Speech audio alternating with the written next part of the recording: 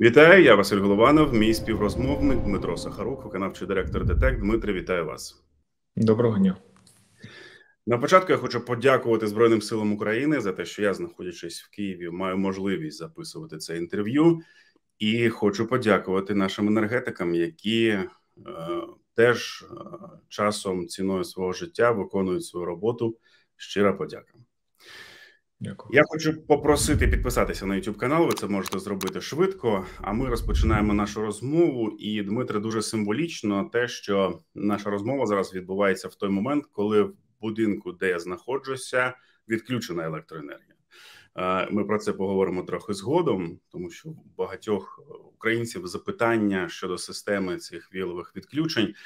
Але розпочати я хочу з питання вашої фахової оцінки ситуації в цілому, що зараз відбувається на енергетичному ринку України в енергетичній системі, і, зокрема, з електропостачанням.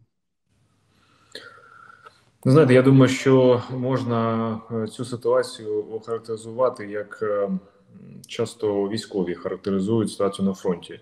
Ситуація напружена, але контрольована. Е, що я маю на увазі? Перше, енергосистема дійсно зазнала досить е, важких е, руйнувань, пошкоджень внаслідок обстрілів, які зробили рашисти на протязі останніх двох тижнів, і відновлення буде вимагати часу. Буде вимагати часу, тому що буде потрібно досить багато обладнання, яке має бути замінене на замість того, що було пошкоджене і досить багато потрібно буде провести технічних е, будівельних робіт для того, щоб це обладнання встановити, налагодити і запустити у роботу. Проблема з обладнанням така, що це обладнання штучного виготовлення, воно не може бути куплено, скажімо так, у супермаркеті, його потрібно замовляти або ж мати на складі. Певну частину ми маємо, як і інші компанії, але оскільки обстріли буде, були і пошкодження масивні, масштабні, то його на все відновлення не вистачить. Потрібно буде купувати. Це не просто, тому що це, по-перше, черга. Зазвичай таке обладнання виготовляється 6, 9, 12 місяців в залежності від виду.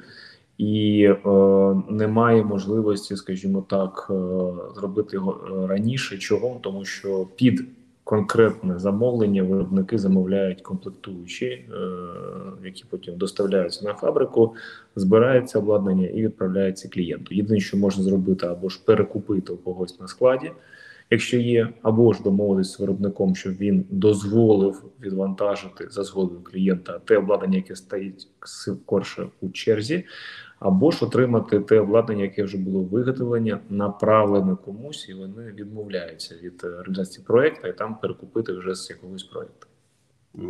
Ну в світі загалом виробники розуміють, що в нас аварійна ситуація, що ми не просто там у нас е, ремонтні роботи, які потрібно проводити кожного року. У нас реальна аварійна ситуація, і нам потрібно, ну напевно, скоріше за всіх.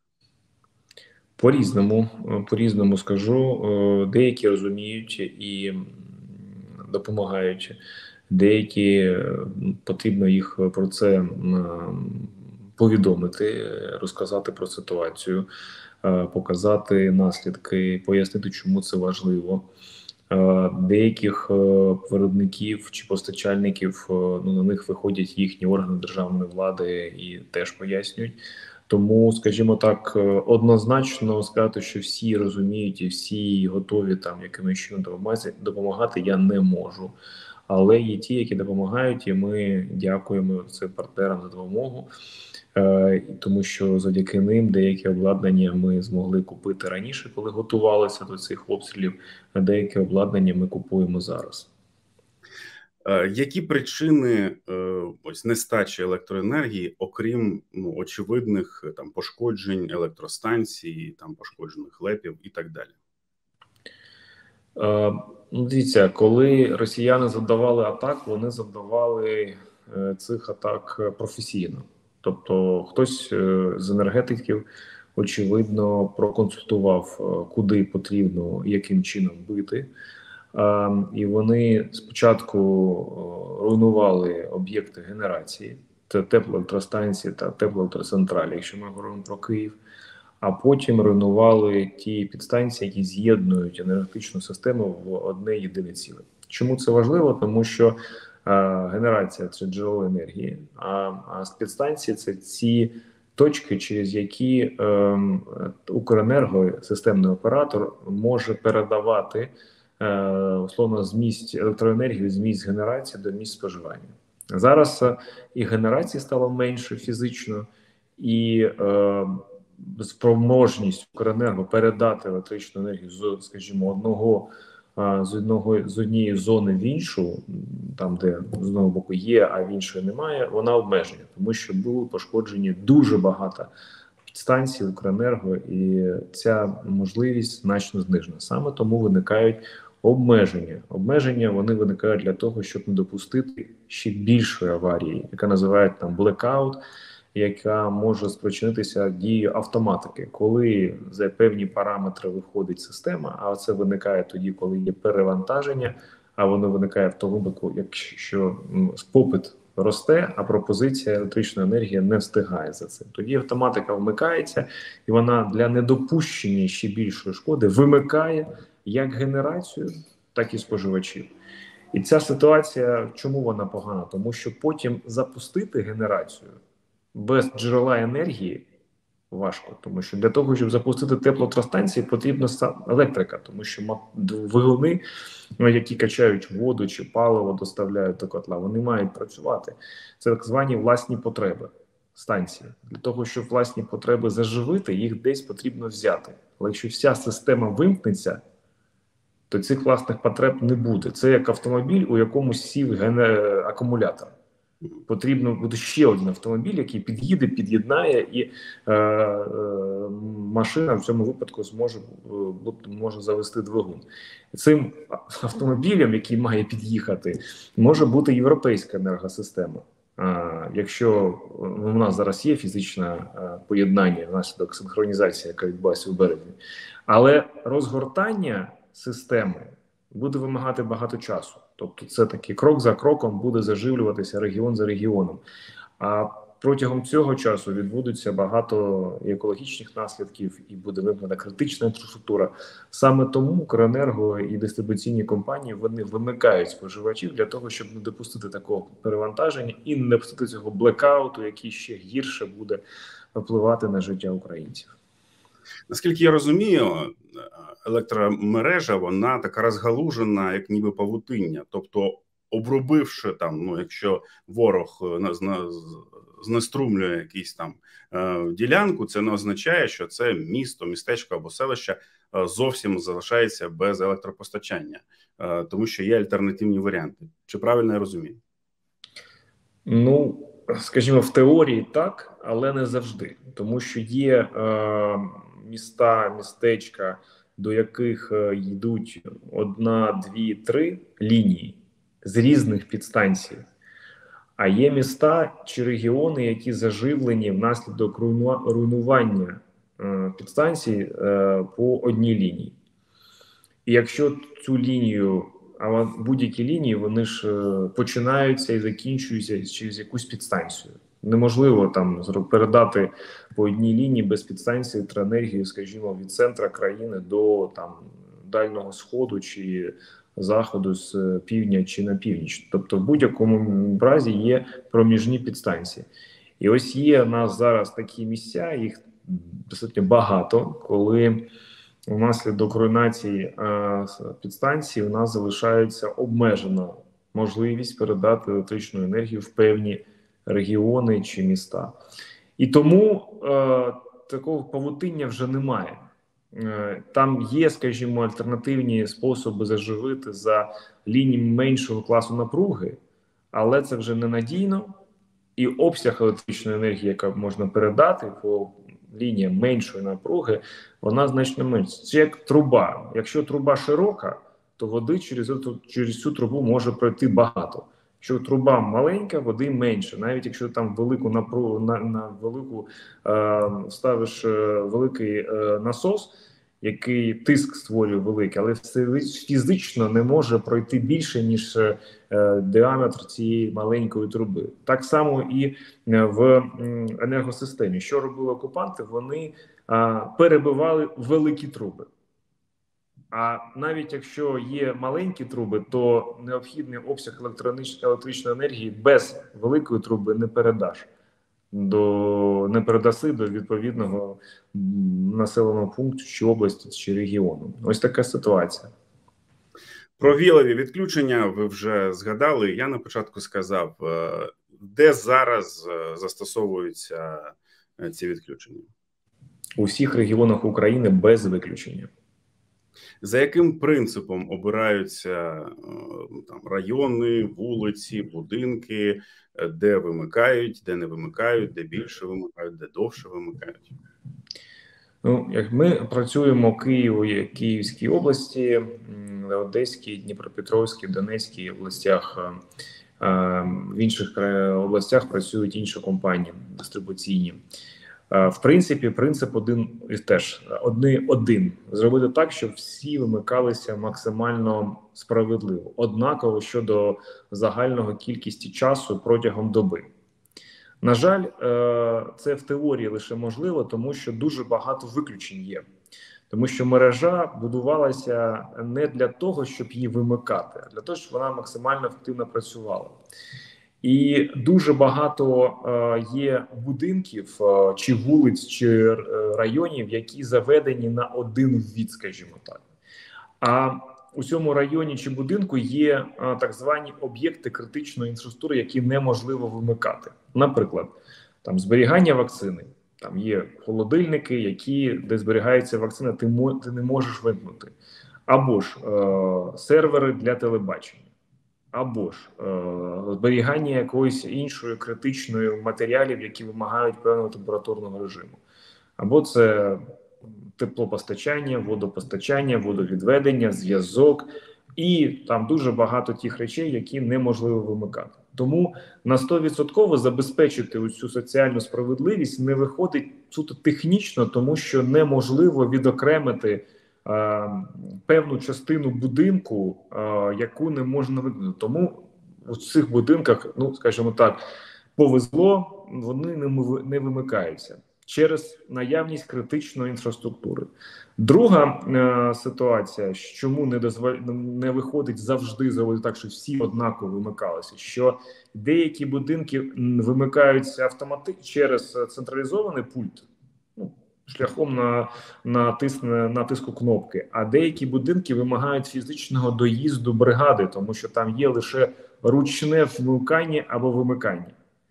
І часто ці будинки знаходяться далеко і досить швидко потрібно вимикати, тому що команда від НЕК «Укренерго» доходить до області там, скажімо, 10 хвилин. 10 хвилин потрібно забезпечити зниження навантаження.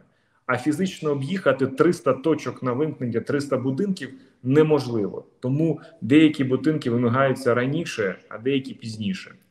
Ми зараз намагаємося. Є ще там більш такі складні речі, коли один житловий комплекс, а житловий комплекс живлюється з двох-трьох водів, і ти вимикаєш один вод, а частина будинків в комплексі залишаються. Чому? Тому що на неї заведена вода, яка подається всі будинки. Якщо ти вимикаєш зараз два води, то вимикається не лише електрика, а й вода. Ну а без води вже погано там це каналізація, це решта. Тому оскільки система не не, не, не будувалася для того, щоб її вимикати, зараз ми маємо такі певні е, ну соціальну несправедливість. Те, що в соціальних мережах зараз де а чого мого сусіда горить, горить через ті причини, про які кажу. Ми намагаємося зараз максимально збалансувати це, е, ну не допустити, коли одних часто виключають, а інших ні. На жаль, це зараз ще є але повністю е, зробити так, щоб всі вимикалися однаково. Я вам скажу, на жаль, ми на 100% не зможемо. Ми максимально це зробимо соціально справедливо, але будуть ці обмеження, про які я кажу. Е, також в соціальних мережах звертають увагу на те, що кияни всі українці намагаються там економити, менше запускати там пральну машину, мікрохвильовку, бо зайвий раз не, не чіпають. Але бачать при цьому, що на магазинах там світліють вивіски і так далі. Е, це потрібно якось регулювати, можливо, на державному рівні. Чи ці вивіски там не знаю, ледові, неонові, вони не сильно тягнуть електрику? Ні, зараз все, що не потрібно, потрібно вимикати. Е, навіть ці ці вивіски, які не раніше горіли, зараз їх можна не, е, не, не вмикати. Це справа місцевої влади, і вона має працювати з е, бізнесом зі споживачами для того, щоб вимикати і слідкувати за вимкнутим цього світла е, зараз е, у багатьох містах створені такі інспекційні бригади, які їздять і контролюють вимкнення, просять е, чи вимагають навіть бізнеси вимикати світло, яке не ну, не несе корисного навантаження. І е, це правильно. Е, хоча досі є такі місця, де горить світло, де все, скажімо так, е, Ріо де Жанейро, хоча поряд е, вимкнені будинки. Тому я думаю, що це певний час зараз пройде, поки е, органи державної влади настроять систему і е, дадуть команди всім без виключення комунальним підприємствам, бізнесам для того, щоб вони вимикали. А ті, хто не будуть це робити. Там, за прикладом деяких міст, будуть їздити інспекції, чи бригади, чи поліція будуть вимикати примусово. І Це дозволить просто не вимикати будинки або менше тримати людей без світла. А саме тому в Києві ви бачите, що вуличне освітлення, наприклад, вже там то другий тиждень воно майже не горить, воно або вимкнене, або є е, до потроху горить, тому що зменшена потужність, вимкнені теж багато вивісок. Ну тобто, потроху люди починають адаптуватися під нові реалії, і це буде далі тривати. Я думаю, що це правильно, тому що хай краще у людей буде світло у будинку, ніж горить вивіска на вулиці. Е, як думаєте, е, в які терміни е, ми вкладемося? Чи скільки треба ще чекати ну, ось на ці на закінчення білових відключень? Таке складне і одночасно дуже легке питання, тому що е, до тих пір, поки у нас є пошкоджене обладнання, як підстанції, так і генерації, е, будуть відключення. Чому ці пошкодження будуть? Не лише тому, що зараз вимагається час для того, щоб відновитися після обстрілів, які були на цьому тижні та на минулому, але й те, що можуть бути нові обстріли. І у нас же нема гарантії того, що 100% чи там 95% всіх ракет, які летять на наші міста, е, на нашу інфраструктуру, вони будуть збиті. Е, тим більше, що росіяни, що вони роблять, вони не лише методично знають, куди бити і б'ють методично, а й вони використовують не одну ракету, а дві, три, чотири. Е, на одну з наших станцій прилетіло одночасно чотири ракети. Одночасно на іншу три. Одна станція була обстріляна спочатку два дрони через годину ракета. Тобто навіть щільність, з якою вони е, обстрілюють наші інфраструктурні об'єкти, вона просто ну, вражає. І тому відповідь на ваше питання: якщо б ми сказали, що ось немає більше пострілів і нічого не обстрілюється, я б сказав, бо там тиждень, два, три чи місяць, там в залежності від е, складності. А зараз е, така ситуація, на жаль, може тривати ну до тих пір, поки ми не переможемо росіян. Е, або ж не захистимо нашу інфраструктуру ефективними засобами протиповітряної чи протиракетної оборони.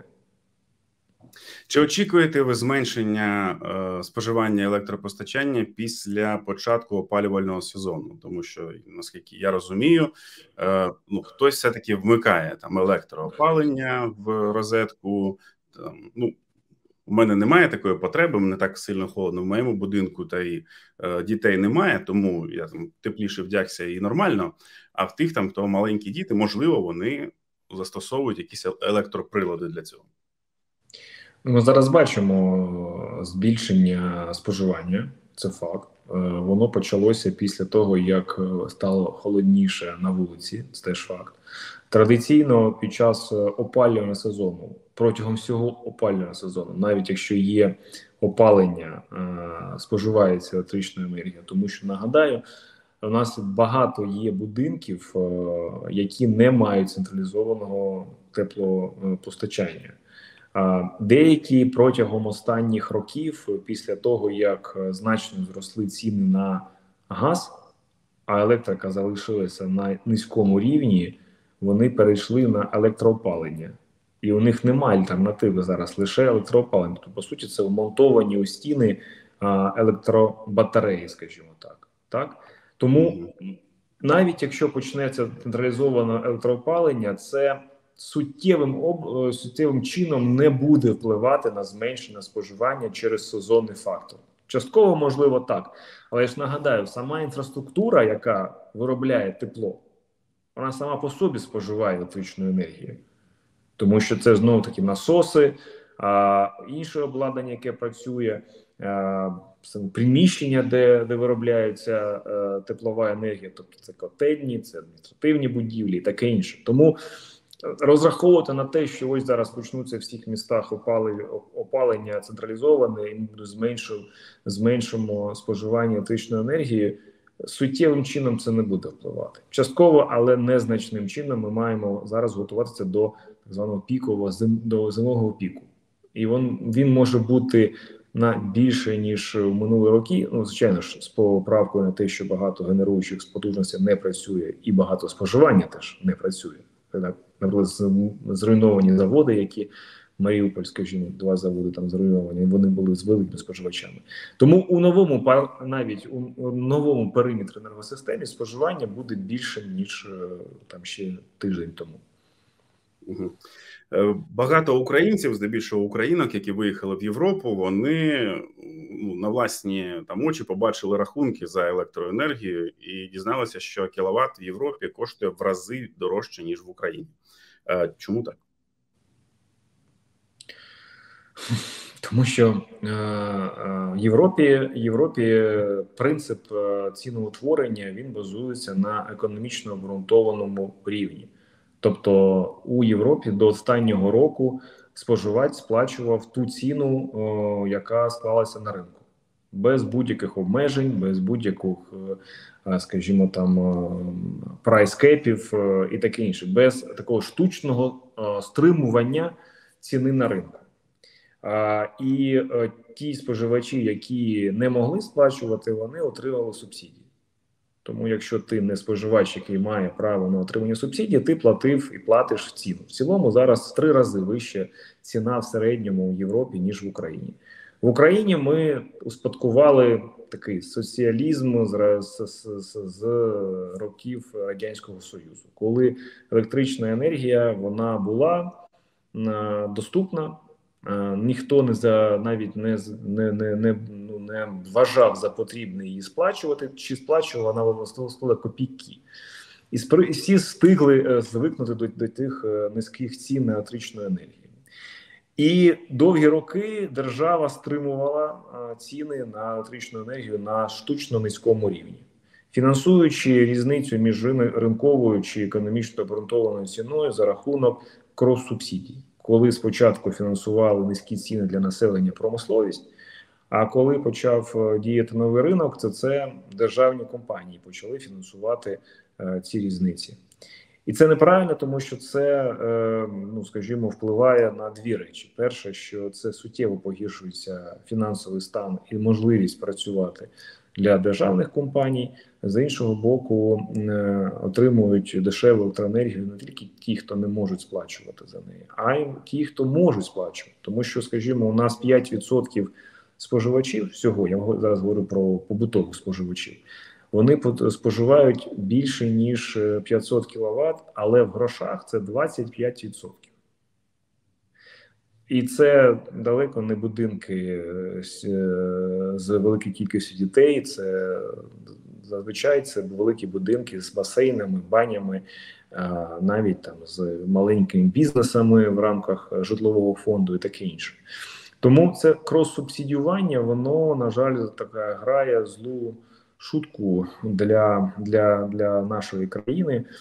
І ми не можемо відповідним чином підготуватися як генерація чи як енергосистема до таких стресових навантажень, які зараз є через війну, тому що немає необхідного обсягу запасу обладнання, необхідний рівень автоматизації, скажімо, про ці швинтання. Якщо б системно інвестували гроші е, до війни і була автоматична мережа, можна було б забезпечити 100%, скажімо так соціальну справедливість під час вимкнень. Зараз же цього немає можливості цієї, тому що автоматизація не фінансувалася і вона не робилася. А причиною це були традиційно низькі ціни на ринку електричної енергії. І на завершення, ось той блокаут, е, який і звучить страшно, і не хочеться, щоб трапився, але хочеться оцінити ризики. Як би ви оцінили ризики настання цього форс-мажору? А, ну, е, прогнози така справа справа завжди не невдячна. Я би сказав, що е, вирогідність блекаута без е, обстрілів майбутніх ну майже нульова. Систему ми втримаємо. Якщо будуть нові руйнування е, внаслідок обстрілів, то вирогідність блекаута буде зростати по мірі збільшення кількості пошкоджених об'єктів енергетики в країні. І спочатку відбудеться, якщо будуть наступні обсяги, спочатку має відбутися така кластеризація, тобто розділення системи на острови, скажімо, там такі зони, які між собою не пов'язані. А потім, якщо знову продовжуються обстріли, то це поступове виключення цих островів за рахунок вимкнення об'єктів генерації в цих островах. Оце найгірший сценарій, такий, який може бути, але ж він повністю залежить від нашої спроможності або неспроможності захистити небо від ракет. Тобто будемо мати кращі ракети, більшу щільність протиповітряної оборони, зможемо краще захистити інфраструктуру, зможемо не допустити блекауту. Дмитре, дякую вам за цю розмову. Дмитро Сахарук, виконавчий директор ДТЕК, був з нами. Е, відповідав на всі запитання. Я ще раз подякую глядачам і попрошу підписатися на YouTube канал, поставити дзвіночок, лайк, дізлайк, коментар. Залишайте, будь ласка, це нам сильно допомагає. Дякую, Дмитре. Дякую глядачам. До зустрічі.